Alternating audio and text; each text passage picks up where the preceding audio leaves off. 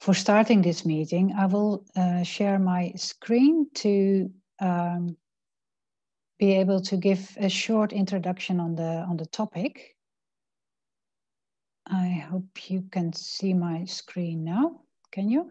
Yes. Excellent. Okay, so this is indeed about nourishing the post-COVID-19 world. So it's not just about building back better, but nourishing the world. And we, you may recall that earlier, before the summer, there was also a thematic session of this particular group that addressed nutrition.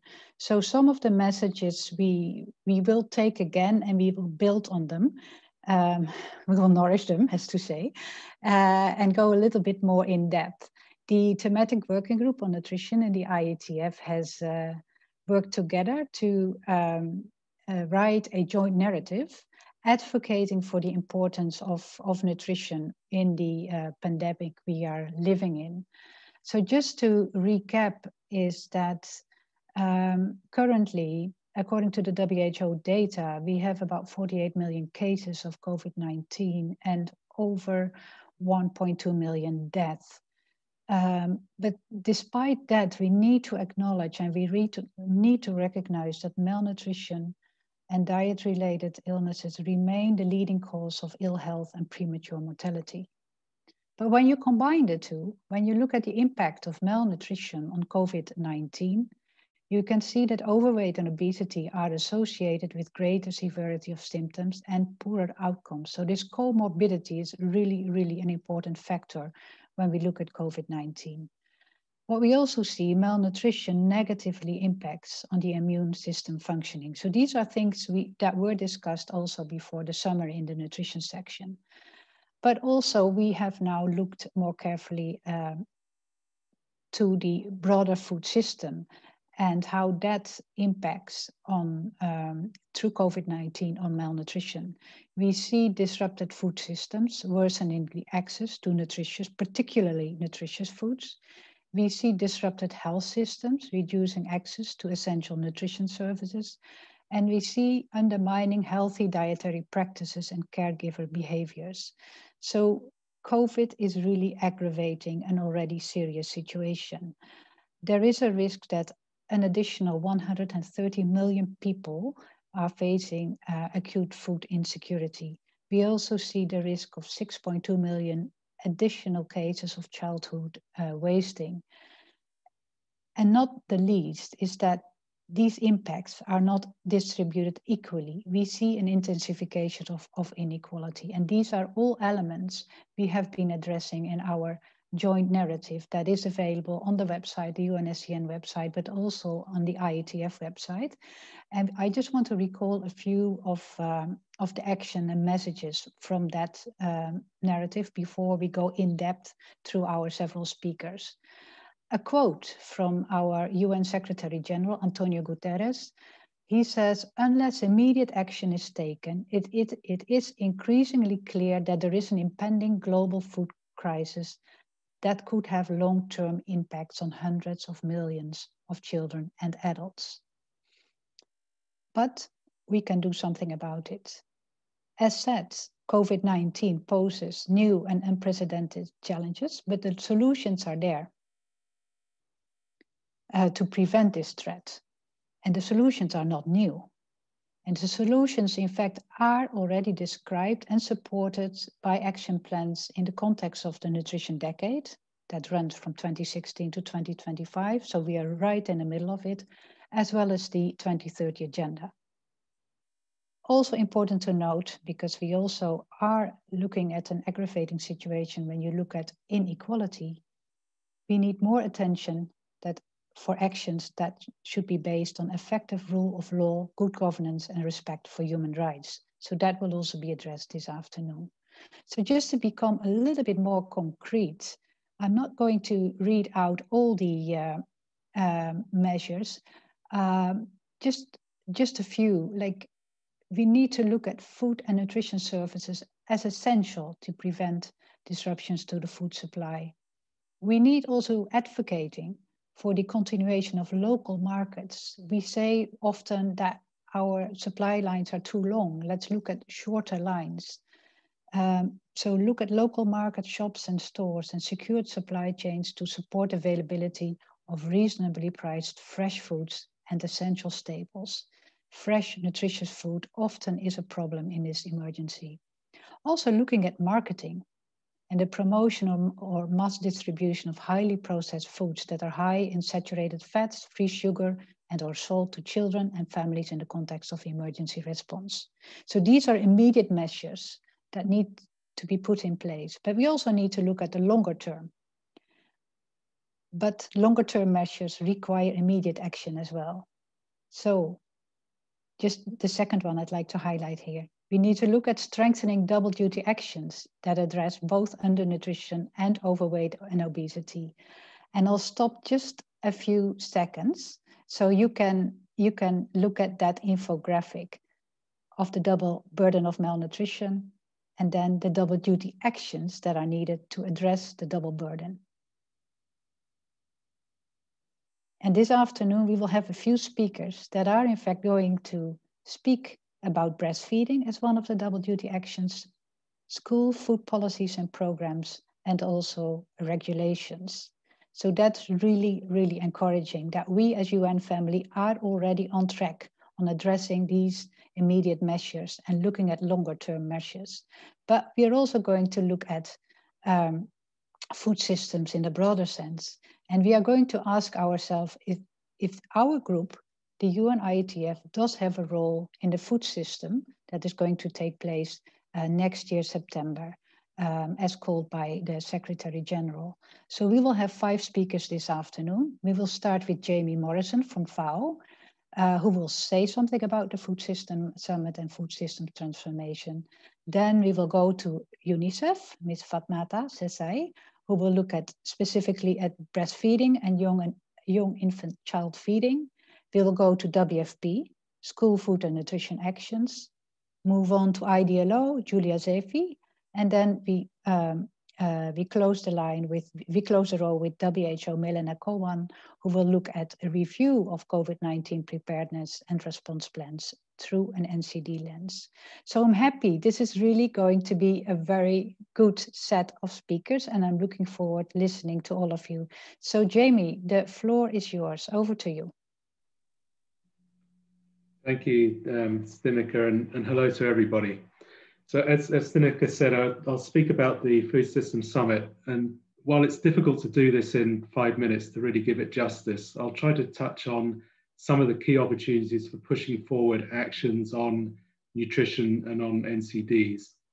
And I appreciate that each of you will have different levels of knowledge about the Food Systems Summit. Uh, so apologies in advance if I provide too much detail for some. Um, I see Lena, for example, on the call, who's very much involved, but on the other hand, too little for others. But I'm happy to, to take questions um, or provide additional information afterwards. So just to start on, on why the summit, and I think there were two key reasons behind the push um, from the summit, which came originally from the, the RBAs. First was the recognition that, that whilst food system transformation has been identified as one of the few entry points for accelerating progress towards the SDGs, food systems have been underperforming. So that, that was the sort of obvious reason.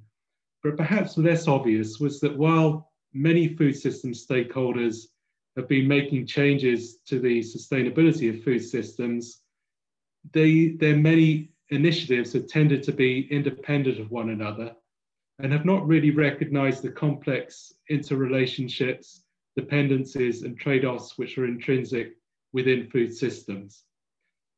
Uh, to give a few examples, producers have, been, have long been experimenting with alternative production technologies, not just to limit their impacts on, on biodiversity, natural resources and climate, but also to look at how they can produce food for markets which are demanding more um, nutritious or more, more healthy um, or looking, looking towards more healthy diets. At the same time, food industry has been engaging in more sustainable sourcing, product reformulation, efforts to reduce loss throughout the value chain.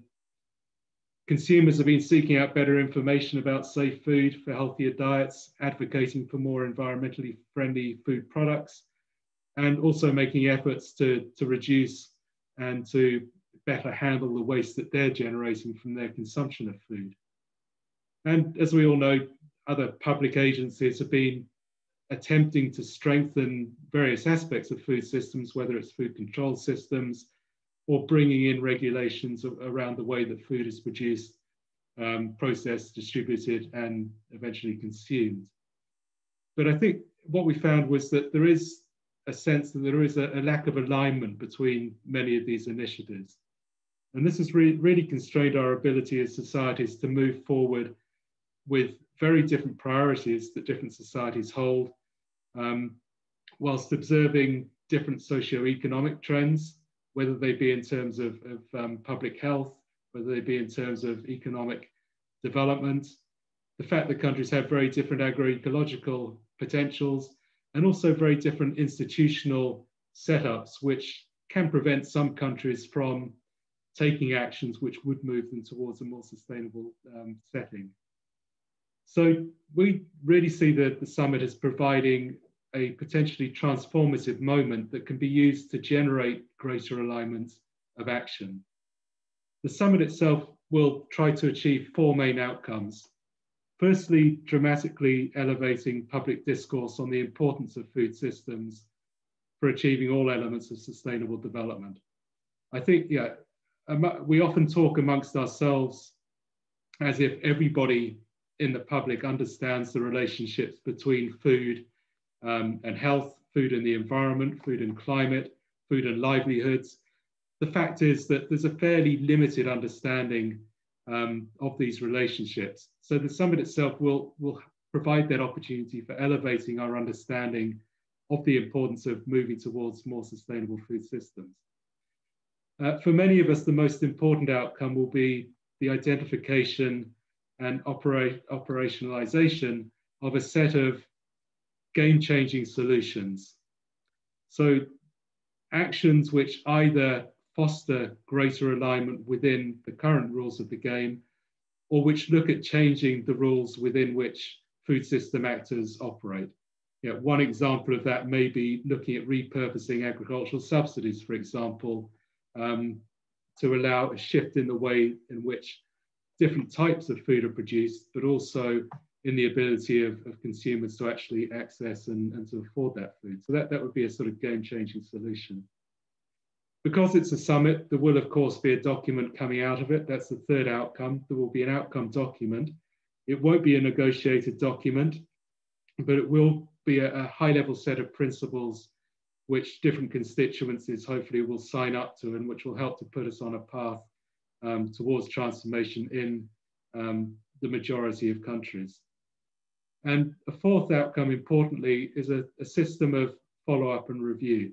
And this is not just simply a, a, a sort of list of commitments which is ticked off um, and followed up on or not, but actually a process which allows the pathway towards more sustainable food systems to, to unfold. We, we know that whatever solutions are developed by the summit, some of them will work, some of them won't but many will need adjustment along the way. So you need that sort of system of monitoring and, and follow up afterwards. So in order to achieve the outcomes, there's a, an intensive preparatory process that's been put in place. That will include a pre-summit event, which will take place in Rome, probably next July, um, date yet to be fixed. And then the summit itself, which will take place in New York during UNGA next September. And I can't go into all details on the elements of the, of the structure and process, but let me just say a few words about two of the main components, which will allow for the involvement of all food um, system constituencies.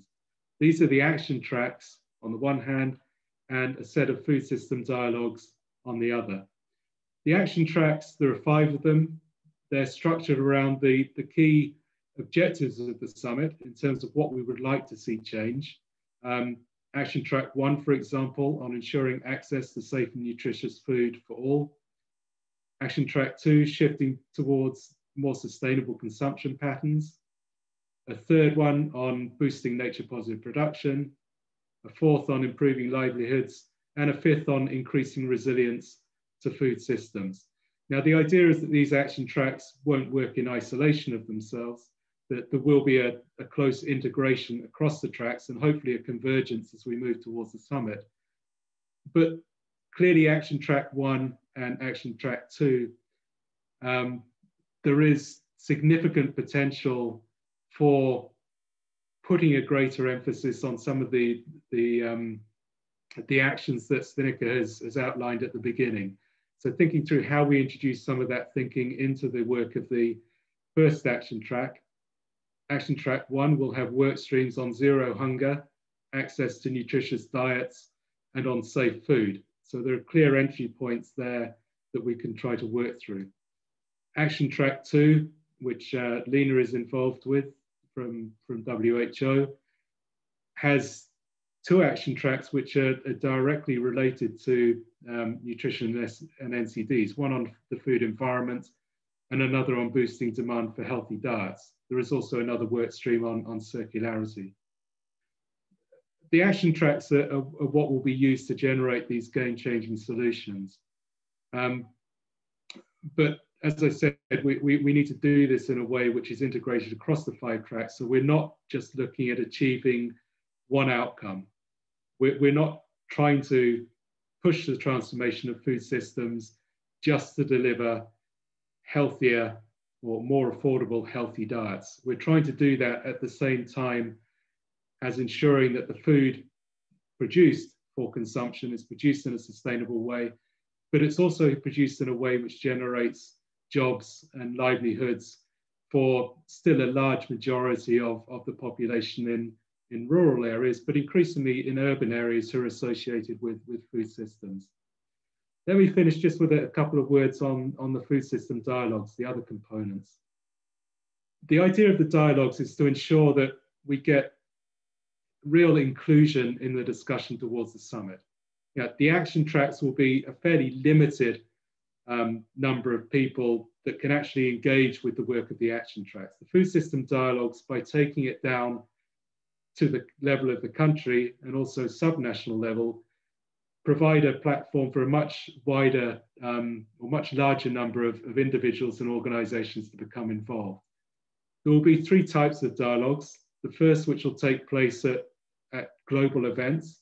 For example, towards the end of um, of November, we have the, the third global conference of the One Planet Network Sustainable Food System program. That will have a global dialogue embedded within it. And, and many of us are involved um, or associated with that, that particular program.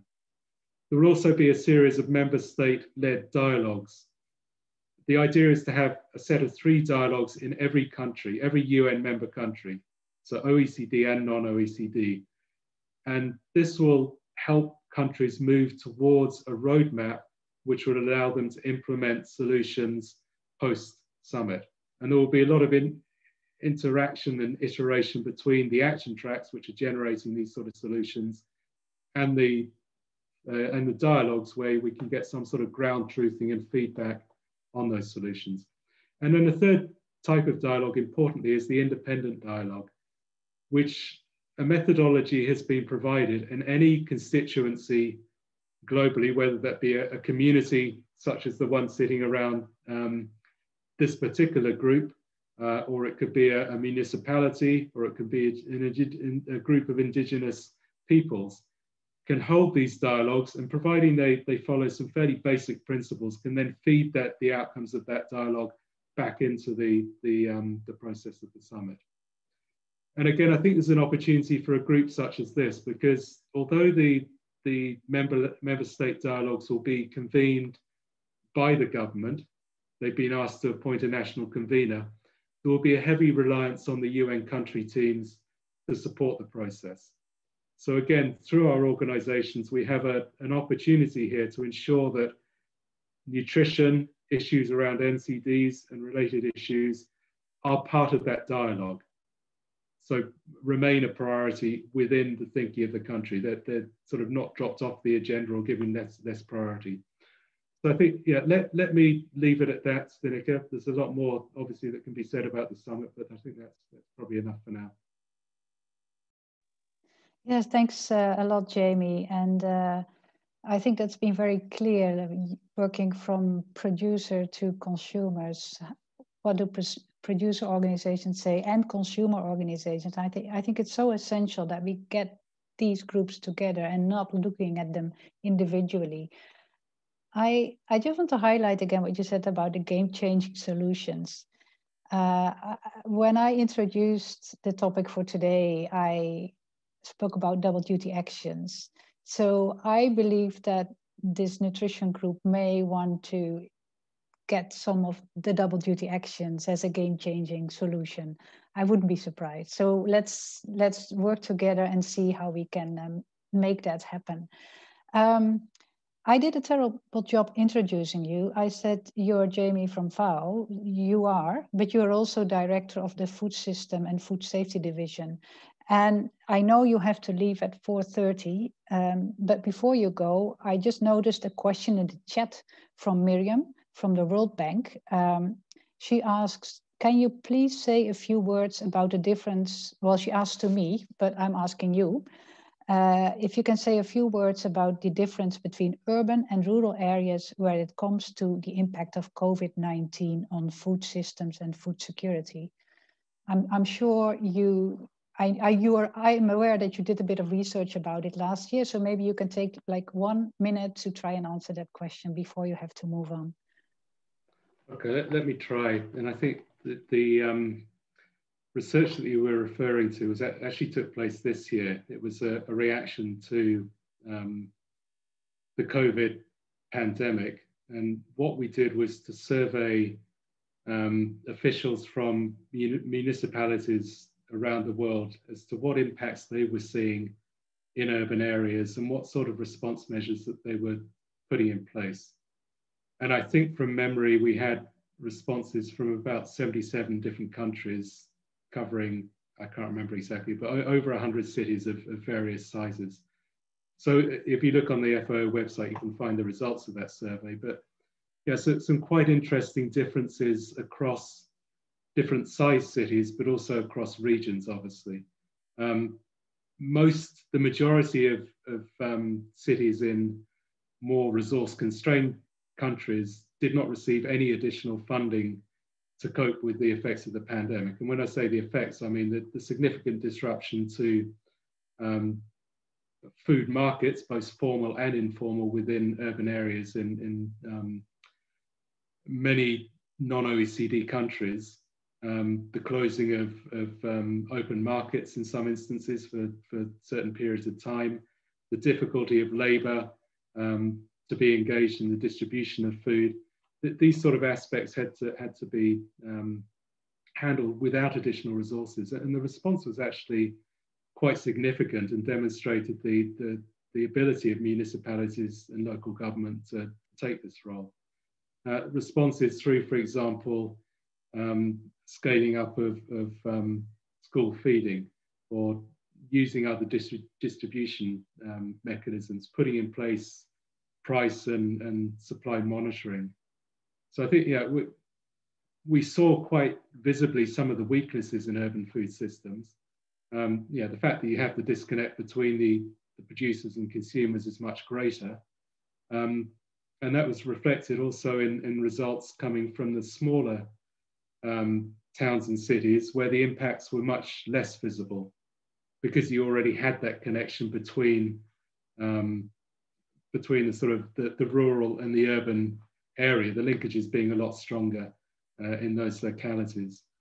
So I don't know, that doesn't really specifically answer the question. I mean, obviously there are clear differences between urban and, and um, rural areas, and it, it, tends to be really to do to do mainly with the the sort of um, dislocation of consumption and production um, and the sort of weaknesses we see in the chain linking the two.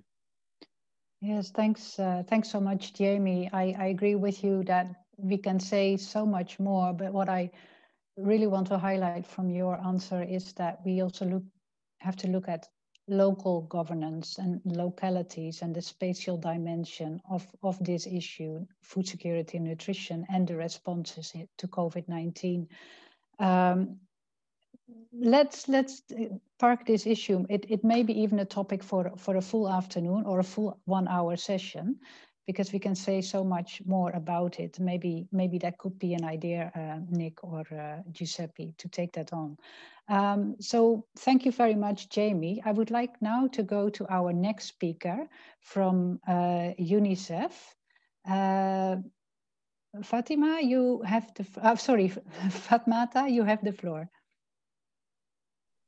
Thank you so much. I would just like to project a few slides uh, to take us through. Mm -hmm. uh, can you all see my slides? Yes. Okay, great. So basically, I'll be talk, taking you through the impact of COVID-19, uh, not just on breastfeeding, but uh, generally on infant and young child feeding. Uh, this also covers uh, complementary feeding and uh, its long-term consequences uh, for the NCD burden. So for today's presentation, I will seek uh, to answer a few questions uh, basically around uh, why breastfeeding is important uh, during this COVID-19 pandemic and how the pandemic has affected breastfeeding and complementary feeding and uh, also we'll look at what are the potential impact of uh, COVID-19 on the NCD burden, and then we'll follow it up with a quick uh, call to action. So my name is Fatmata Fatima Sesay, nutrition specialist uh, with UNICEF. So looking at uh, the context uh, that we are in presently, uh, we know that optimal breastfeeding uh, practices remain critical because we know that uh, optimal breastfeeding practices have an impact on economic health, survival, and with long-term benefits in reducing the burden on NCDs.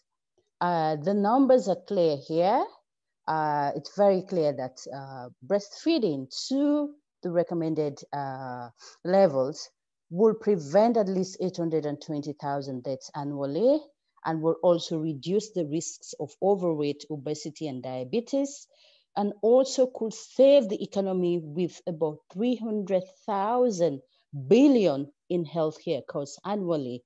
And we do know that infants who are exclusively breastfed are 14 times, who are not exclusively breastfed, are 14 times more likely to die than those who are exclusively breastfed.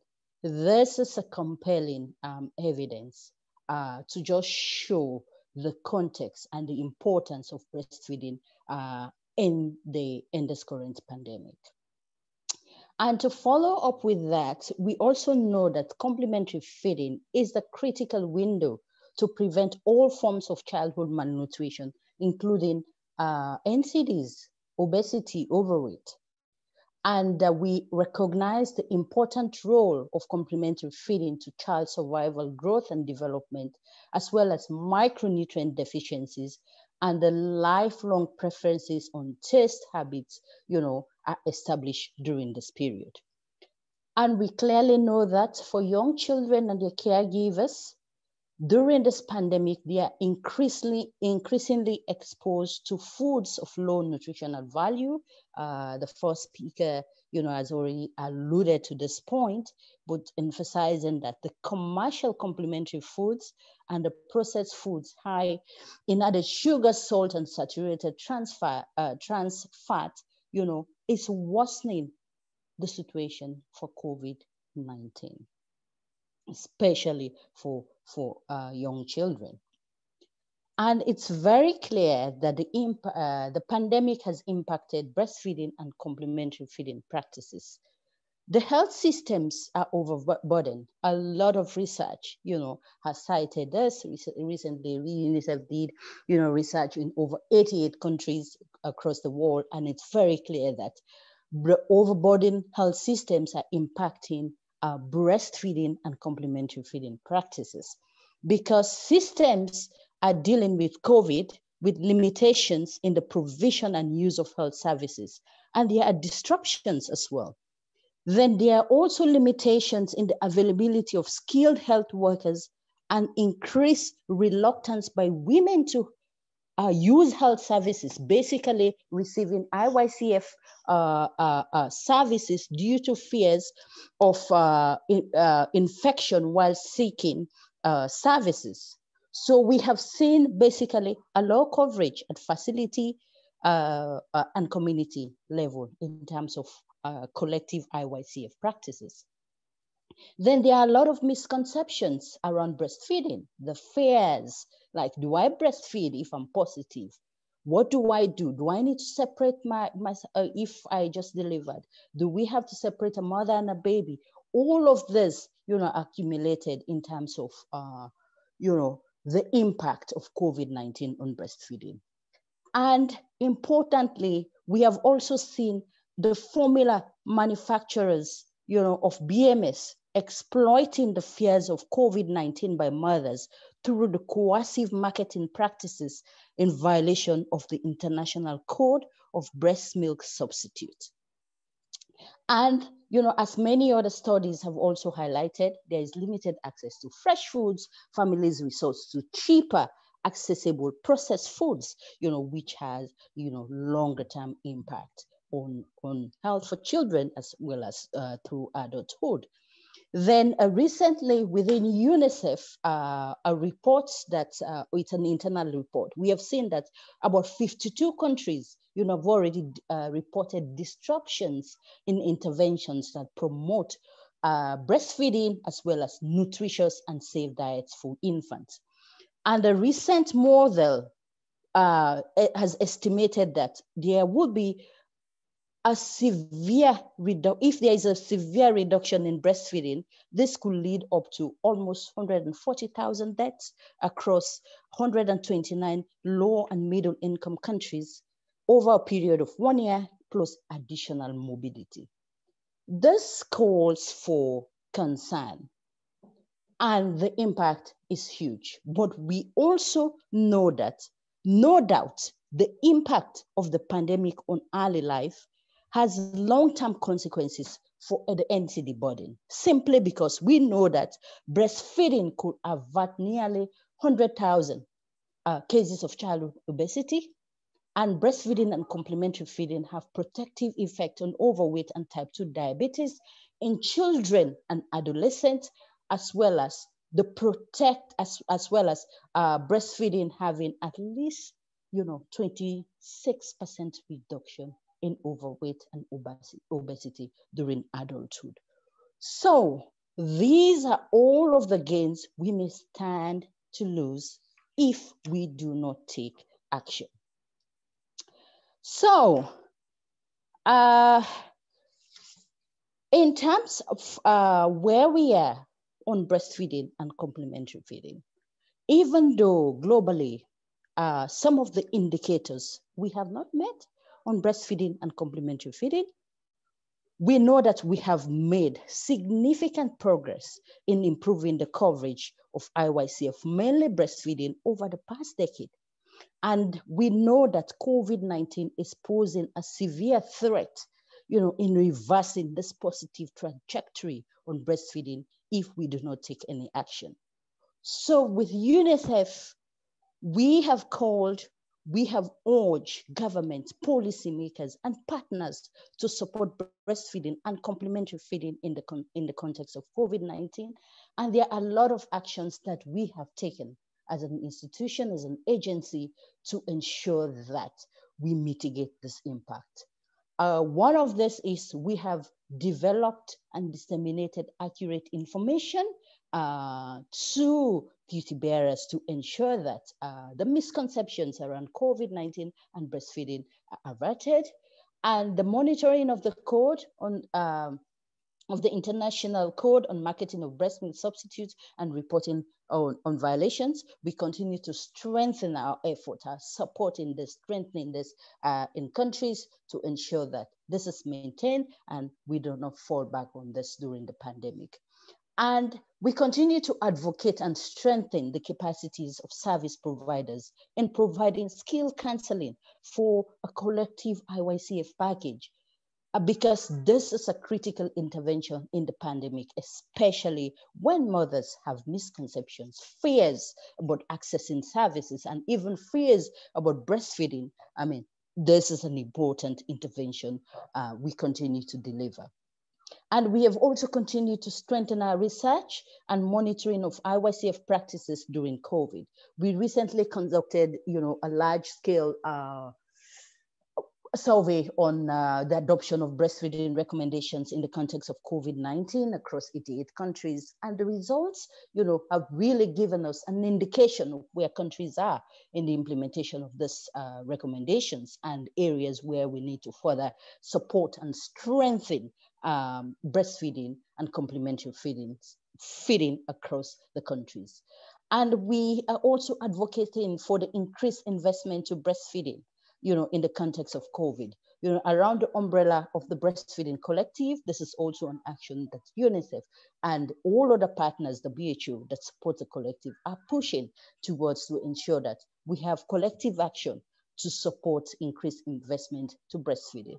And also advocating that we strengthen the social protection programs to ensure that you know di diets for children are diverse and are also healthy. So with that, uh, I would like to say thank you. And that's it from me. Over. Thank you so much, uh, Fatmata Fatima. I think this is really powerful, what you just said. Um, yeah, I, I don't know what, how to highlight the, the most important part, but, but there seemed in the past a little bit of positive progress. But we have to run so much faster if we want to maintain and keep up and promote further good breastfeeding practices and complementary feeding, it's so important. As we started off saying, this is one of the most important double duty actions. We cannot stop promoting that. So I will stop here. I would like to hand over to WFP, to Marie, to move on. We, we are following more or less the life cycle. We are from young uh, young children. We are now going to school age children. But before um, asking, uh, giving you the floor, Marie, I, I, I am being a very bad chair, and I know for sure we are going to take a little bit more time than uh, than stopping, being able to stop exactly at 5 p.m. So I hope you will bear with us. I think we need uh, maybe 10 minutes more. So I think it's too interesting to stop uh, the speaker exactly after five minutes. I simply didn't want to. So Marie, you have five minutes, but I think I will allow you a little bit more if you run over time because it's simply too much information to share within the five minutes. Sure, thanks, Stineke, um, and I'll try and keep it as much as possible to five minutes. Uh, good afternoon to everyone. Um, good morning to those joining from New York. Um, I'll just share my screen.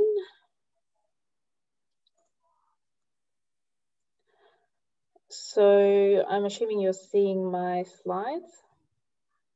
Yes, we can. Okay, great.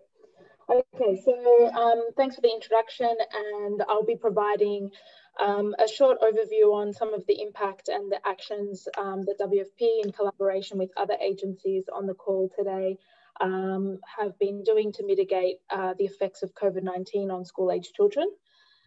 I'll start off first um, with just highlighting why it's important to invest in, um, in a school-age child. So following on um, very nicely from what um, uh, Fatmata has just said about the importance of the first 1,000 days. We, of course, acknowledge this as essential. Of course, we know that during this period, brain growth and development occurs, and of course, intrauterine growth and development. Marie, if I may interrupt you, we can also read your notes. So I don't know if you want to set your slide to uh, the slideshow option. Yeah, I was trying to figure out how to do that actually because I'm Yeah, now we have it on full screen. Oh, okay. Thank you. I don't know what I did, but okay, great. So thanks for that. So um, yeah, so as I was saying, um, why do we care as WFP on these next 7,000 days? So we know that during this period um, that catch-up growth and sustained growth occurs. and growth actually can falter with age. So it's important to promote uh, the healthy growth across the development years and obviously make investments in school age children. So, and this builds on, on the investments made in the first 1,000 days. So we know that school age children are of course still being affected by infectious diseases, undernutrition and micronutrient deficiencies, and now more recently overweight and obesity. So just a couple of key facts before I go into the effects uh, of COVID on children is we know that an undernourished mother will give birth, more likely to give birth to an underweight child. And that's associated with a higher risk of overweight and obesity and NCDs later in life. But we also know that children that are born to an overweight mother is more likely to develop obesity as they mature. Um, and also, of course, a diet related NCDs so NCD. So this relationship highlights the importance of this period um, uh, to invest in and provide this enabling environment to mitigate the effects and this, break this intergenerational cycle um, and uh, of poor nutrition. So during COVID, we saw that um, obviously learning with schools being closed was significantly impacted. Um, and also being significantly impacted is the likelihood of the continuation and return to education. So during the peak of the crisis, there was almost 1.6 billion children that were out of school because of school closures. And now we've, uh, we know that between 16 and 24 million students um, are at risk of not returning to education this year and in 2021, and with 7.6 of those uh, million of those being girls. There's obviously been a disruption of access to essential services that pose a threat to child health and survival. And the remote working of schools and online learning is great that we have this option, but not everybody has this option, with many children not having access to the internet. We've seen that more households have been pushed into this multi-dimensional poverty. And of course, food security has been impacted with children missing out on school meals unless alternatives to school meals are identified. So this is a snapshot of the peak of the crisis. So in April, we saw that 199 schools were closed with almost 370 million children missing out on school feeding. So this is a map um, established by WFP, and I'll show you in a moment an updated map where we are at the moment. So during this period, WFP stepped up its work with partners, uh, including FAO and UNICEF, to issue um, a, a, series of guidance um, for governments for where schools were closed and for where schools uh, remained open. The source is at the bottom, so I'm not going to go through the specific actions, um, but just to say that now that schools have started to reopen, WFP together with UNESCO and UNICEF and the World Bank, um, launched a framework to inform decision making um, to help national preparedness plans on, on returning children back to school. Um, during the crisis, one of the main things that WFP um, did do was support um, schools in their school feeding programs by, by providing take-home rations and vouchers, and WFP continues to do that in schools that remain closed. So this is where we are at the moment. So obviously the number has significantly decreased down um, to now 90 countries with school closures um, from 199, but 260 million children are still missing out on their school meals globally. So um, as mentioned previously, WFP is working to ensure that children receive their school meals at home um, or when that is not possible, then cash-based transfers or vouchers um, to ensure that that meal is, um, is being provided. Um, just quickly to mention one of the main partnerships is with UNICEF um, on ensuring children um, do receive um, not only a school meal, but essential um, other services such as nutrition education and WASH. So again, I won't go through the details of the partnership, um, but just to say that there are 30 countries that are the focus at the moment, particularly in fragile contexts with 10 million children being, um, being, being the focus of that partnership there. As schools have started to reopen now, we've, um, we're starting to learn a lot more about what's working and what's not. Um, and a report recently published by UNICEF together with the World Bank, WFP, UNHCR and UNESCO um, was just released uh, in September about sharing lessons um, to strengthen countries' response plans um, to reopen schools. So um, improving the practice um, and separating these learnings into four key areas, including safe operations, um, the focus on learning, uh, well-being and protection, um, and reaching, of course, the most uh, vulnerable and marginalised, including girls.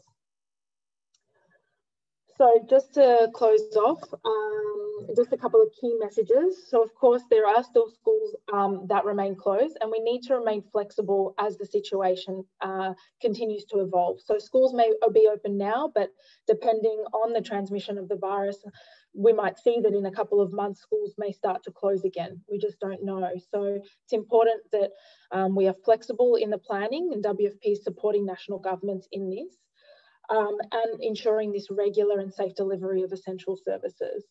Where schools have remained closed, um, we continue to adapt the programs, particularly with alternatives to school meals. We of course use this opportunity to support program linkages and integrating nutrition. And we've really seen that during the COVID-19 pandemic, the importance of functioning food system and the importance of good health and nutrition. So we're really using this as an opportunity to scale up our efforts and of course, we continue to advocate and collect age-specific um, uh, research and data to ensure that we actually know what school children are consuming, what their weight status is, for example, and their growth trajectory, um, to ensure that funds are appropriately allocated. So I'll end there. Um, thank you for listening um, and look forward to hearing from the other speakers. Thanks, Stineke.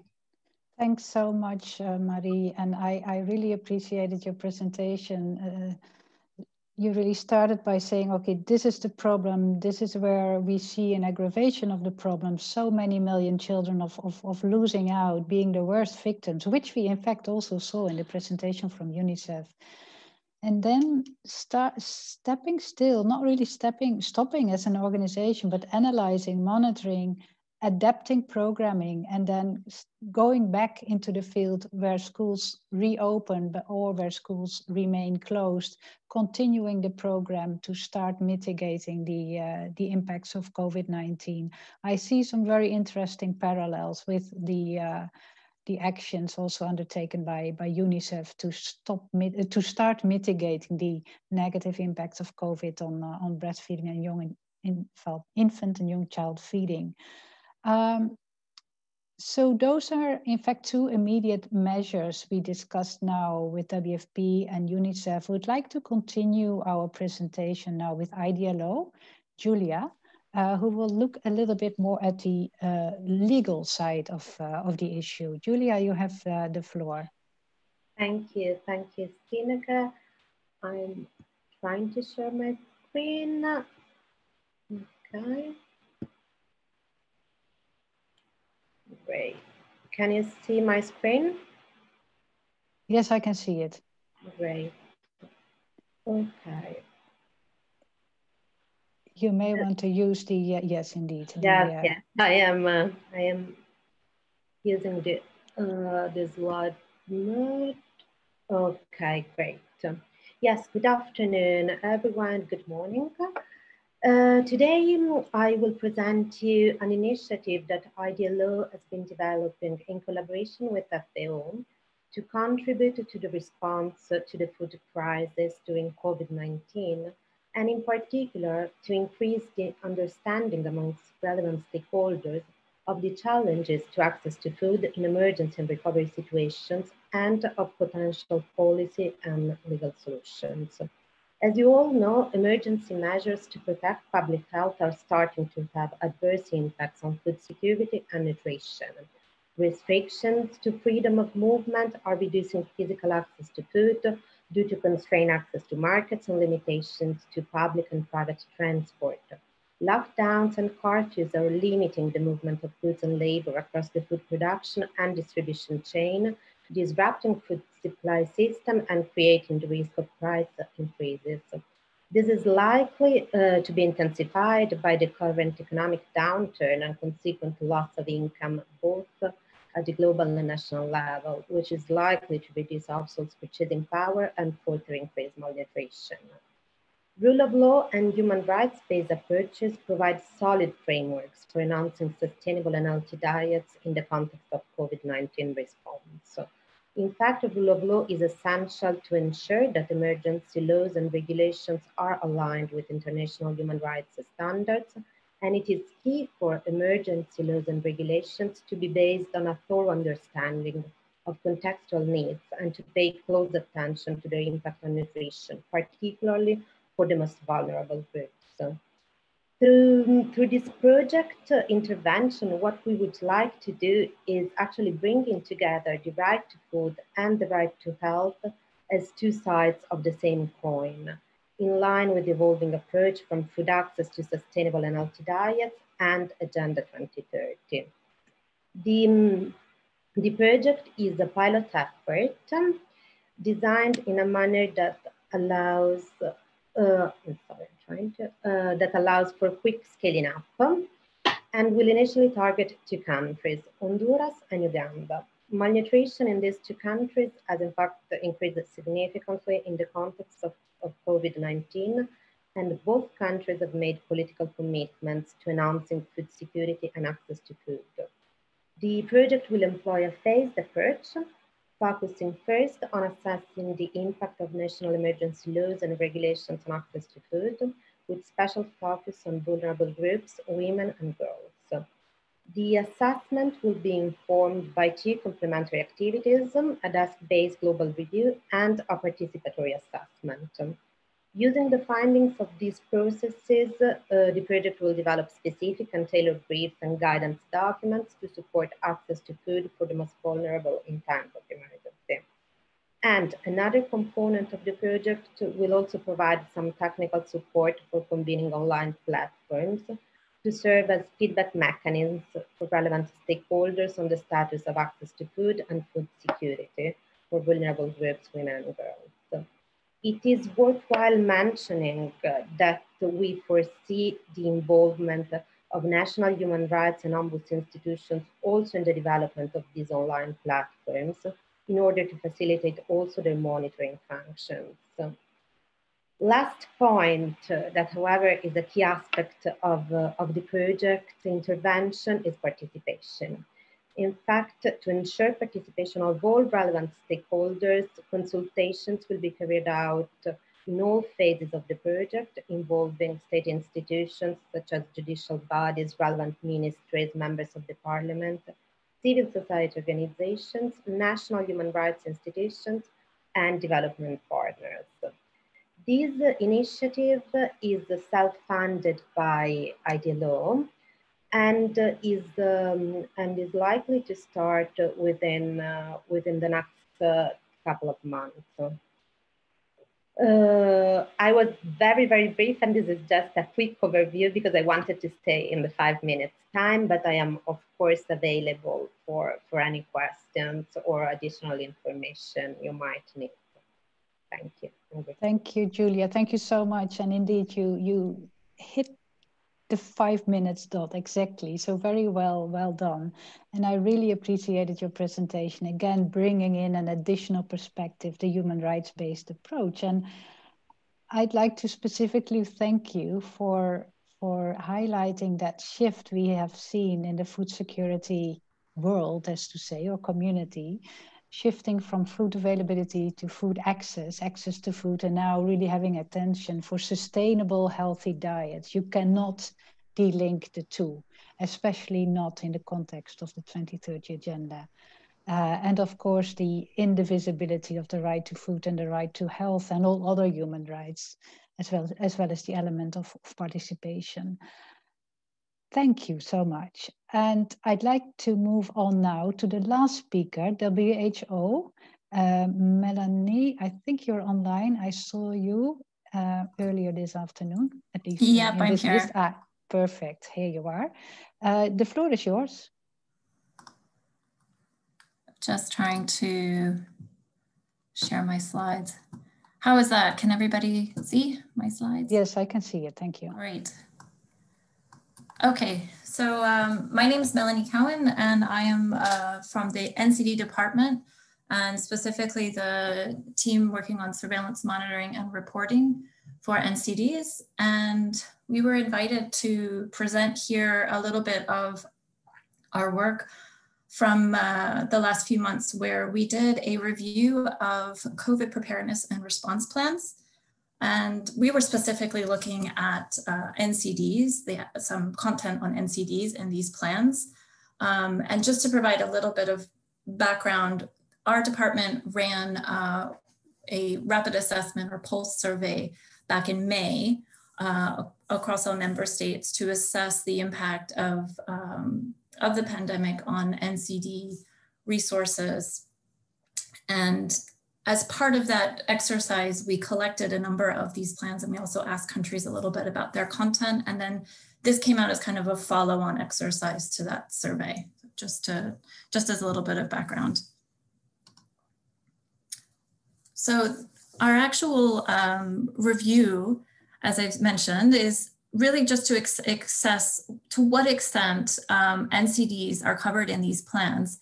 And then there was something tied into this survey that I mentioned that we also wanted to do this as kind of a means to validate uh, the, um, the responses that we received back from countries on the content of their CPRPs, specifically um, whether or not um, NCDs get a mention in the list of essential health services in these documents or not. We also wanted to look to see about any guidelines, if there, first of all, if there are any guidelines on comorbidity reporting and whether or not NCDs get a mention there as well. And then there was a fairly extensive just keyword search where we thought we might just do one last try to see if there's any NCD related terms, but we ended up expanding this to include uh, some terms suggested by colleagues in other departments and notably outside of NCDs, um, colleagues from the Health and Migration Department as well.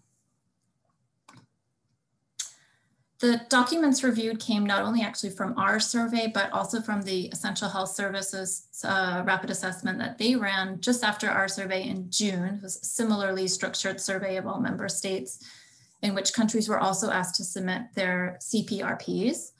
And then we also received additional CPRPs through colleagues in um, the Health Services Resilience Team in the um, in another department on uh, on health services, and they were doing another review of these documents, kind of much broader review on essential health services content of these documents, um, and they flagged um, documents for us that might specifically be of interest to our review. So they they were helpful in providing kind of an additional 30, 40 documents for our review. We developed a set of uh, questions that we would be looking for um, looking for inside these documents um, based on the guidelines specifically on NCDs and the um, essential health services documents uh, for CPRPs that came out over the summer. And then that document, this questionnaire that we devised was translated into Excel and we passed this around to a group of, a small group of reviewers, um, mostly at headquarters, who completed this um, as they went through document by document, um, not just ticking boxes, but also taking some notes on terms of what specific content was there. So in all, uh, we actually had over 200 documents to review and about 121 of them were of interest to us. Uh, and those came from 87 uh, member states. And here you can see the distribution across different regions and approximately what percentage of member states in each region were included in this review. So we have 87 countries, 121 documents across all six regions. And I've cut this down significantly from our much larger set of slides on the results, but just to give a few highlights, and then I will make a specific note of some nutrition related items. Um, the documents, um, only 39 countries um, included some mention of essential health services um, inside. So that was um, just under half of all the countries um, documents that we reviewed. But for us on the plus side, most of those that include that give some mention of essential health services do make a mention specifically of non-communicable diseases. And we were able to validate the responses of just 67 countries um, from our survey. So specifically, we either um, had documents for these or um, these countries had said no, we were pretty, and we received additional documents um, and were able to verify that, yep, indeed, NCDs wasn't there. So of those 67 Um, countries, um, there was fairly good alignment. It was just over two thirds um, aligned with what they had told us. And basically for the remaining third, they were all being a bit overly positive saying, yeah, NCDs is there. And when we go and we look, we can't find it. Um, and then the uh, long set of questions we had on the continuum of care for NCDs. Um, 58 of the 87 countries that whose documents we reviewed had absolutely none of these items whatsoever. And of the remaining 29, um, at most they had about five of the 18 items that we were looking for. Many of them just had one or two. So there really was, there was not a lot of content there. And for our keyword search, this was a fairly long list of keywords uh, that we included that we was just, as I said, one last look to see if we may have missed anything. And here I'm just giving out of the 87 countries whose documents we looked at, how many, in how many countries documents did this keyword pop up? And not surprisingly, some of the broader ones just on NCDs or on the specific diseases, namely diabetes and cancer came up uh, most often. Some of the specific NCD risk factors were not mentioned so often, including healthy diet. Um, but we were specifically asked by our colleagues in nutrition to look for micronutrient, uh, malnutrition, and breastfeeding as, some, as keywords. And that did actually come up in 16 out of the 87 documents that we reviewed. And what we have done now is we've shared um, our massive spreadsheet where we've got every single document and it's noted which document um, has which keyword. And uh, we've shared these with all these uh, departments. So we're hoping that this will now be of use for these departments to have a more careful look at these CPRPs and see exactly the quality, the degree of the content on these various issues. So just in summary for, for us in NCDs, um, they're not very well covered in these, in these plans. Uh, or if they are, there's very, very little detail. Um, essential health services are mentioned almost in almost half the country's documents that we uh, reviewed. Um, and they usually do mention NCDs, uh, not in ex extensive detail, but they at least get a passing mention. Uh, where we were able to validate our responses to our survey um, about the content of the CPRPs, um, we had about two thirds uh, in agreement, which is not too bad. Um, comorbidity guidelines were almost non-existent, very, very rare. Rarely did we see these in the documents. And uh, as I just mentioned, the keyword search showed that while specific NCD risk factors did not get much of a mention, um, some of the nutrition related items notably, as well as the migration related items, rehabilitation and disability, all got, uh, were all more frequently mentioned.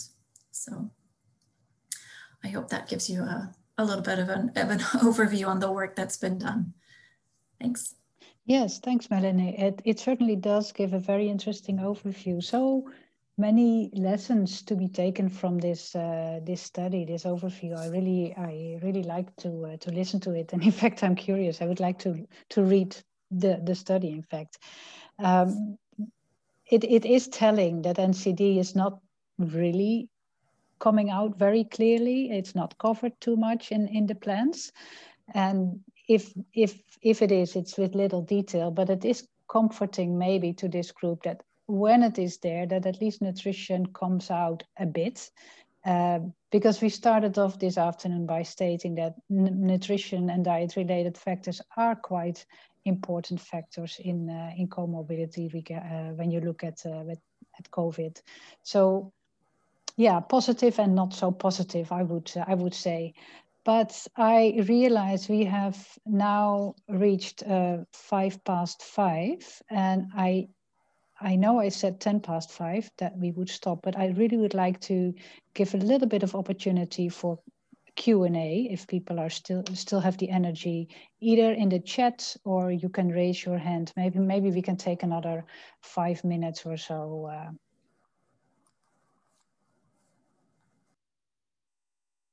I'm not sure if there's anyone who would like to make uh, ask a question or make a comment. Stineke, this is Miriam. So a big, big thank you to you and to all the speakers. All the presentations are really excellent. I was very pleased to see everything. So one of my recommendations, so I'm sure that we're already thinking of this, is how do we inform the design of the next COVID-19 plans? You know, it's not surprising initially they didn't focus on essential health services because the house was on fire and they need to extinguish the fire. But now we have the next round. The countries are constantly updating. They're realizing that the impact on essential health services is, you know, is quite substantial in many contexts. So I think what's really important is the advice that we give them on how to look at who you target in terms of comorbidities. I think that message is coming out and how do you protect essential health services?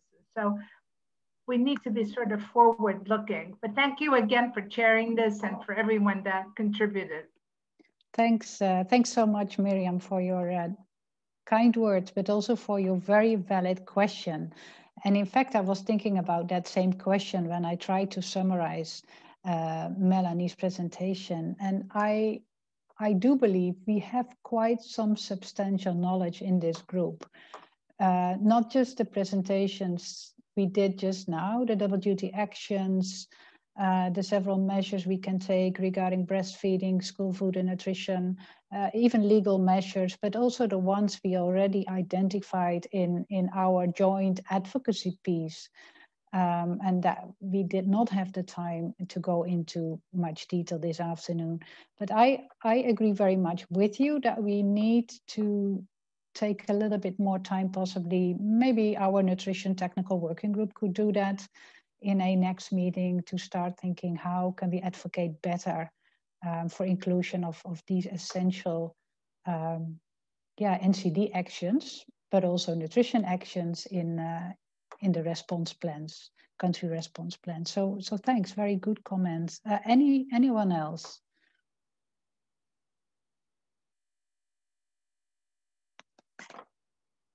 Let me check if I can see hands or otherwise you just take the floor. I don't see any hands. I'll just give it one or two seconds. I don't see anything in the chat. Nope. Okay, I think it's... Yeah, uh, Chizuru, please come yeah, in. Could I just ask a question to um, UNICEF colleague? It was a it was really interesting presentation. Thank you very, very much. But um, it was interesting to hear about the breastfeeding and, and a complementary feeding issues and a breast milk substitute uh, marketing issues. But I wonder if UNICEF has also monitored the use or the increasing use of follow-up formula as such in this context.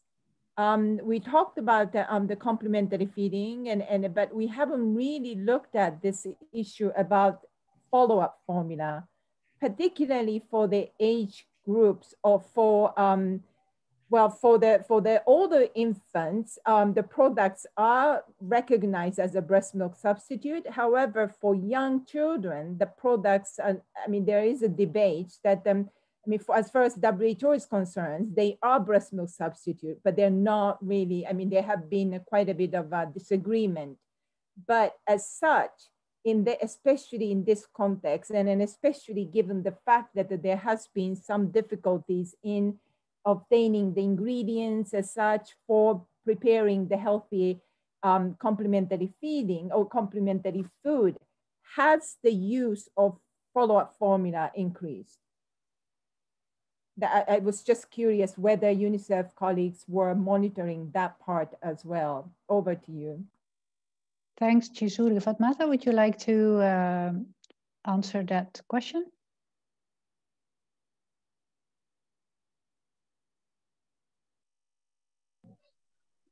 We are working, as you know, uh, we are in a number of countries across the world, and uh, we are working closely uh, with our countries to strengthen policies, uh, regulations around uh, BMS, including follow-up formula and we recently re released a guideline on on this on follow-up formula uh, which is uh, available. So in as much as uh, you know we do not directly like uh, monitor as at, well i mean at hq level but uh, we also encourage countries you know our partners and agencies to ensure that uh, monitoring and follow up you know actions are taken at country level and then uh, provide guidance uh, where where needed which we have already done I can put uh, a, chat, a link to the chat box uh, just, uh, you know, to highlight the recent guidance that we have put out there on follow up formula.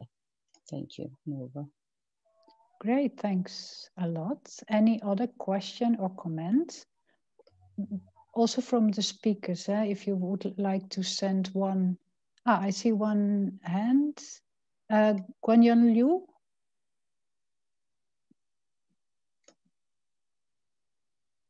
Yeah. Please. Thank you very much. I will be uh, brief. Um, very grateful for all the uh, presentations um, uh, from the speakers. This is a very interesting um, session. Um, I just want to congratulate you for the food summit and um, but since we haven't uh, followed that uh, meeting, I want to understand whether this you know, growing word like whether tobacco ever comes into the debate or discussion there because we have the limited land and then you want to um, to grow the healthy and useful things and um, but you you don't need to answer me right now. And then maybe this is you know because we are all in this one uh, task force and then this one is a convention and we have a specific articles uh, 17 on the alternative livelihood. The governments who signed this treaty has a duty and obligation to change to some other, uh, you know, vegetables, whatever, and healthy uh, livelihood for those uh, growing tobacco. And uh, there might be something to add a bit of the argument and also I will be very happy uh, that to help you and you know to reach out to these 180 parties is part of the WHO convention. Thanks so much. I think that's a very interesting uh, comment and it flows directly from what Jamie also said that uh, food systems provide livelihoods apart from food. Um, and I, I do hear you that tobacco producers are there and they earn a livelihood and we should help them guide them towards producing something more healthy that is actually useful and nourishing people instead of destroying their, their health. But still, that livelihood issue is a uh, an important issue to take into account. So I do not have an answer right now. Uh, and luckily, you gave me the opportunity not to answer immediately, unless anyone else in this group would like to answer. But I think it's it's good. Let's let's continue thinking about it and let's bring it into the food one way or the other in the Food System Summit. I, I really appreciate that comment. Anyone in the group who would like to answer that question or any other comments? Any of the speakers who would like to send us home with a closing message? If not, I'm just checking the chat and I'm checking hands. I think I will then try to close. I thank all the speakers for their very interesting and engaging um, presentations, really highlighting the importance of not just continuing the work we are doing in the area of, of, food and nutrition, but also running faster in order to, to yeah, mitigate the impacts of the COVID-19 crisis on food and nutrition security. So that's that's one. I also heard some very interesting um, comments and questions from the speakers, but also from you, four ideas that we should take into account. Not in the least place, in the last place, um, uh, Miriam's comment about uh, so what's next? How do we ensure that NCD and nutrition are going to be taken into account by the country response plans? Um, so thank you all uh, I will stop now. I would like to wish you a very pleasant evening or a very pleasant rest of the day and a very good weekend. And I will be in touch uh, with some of you for uh, follow-up actions. Thank you so much and um, looking forward to a next session. Thank you, everyone. Thank you.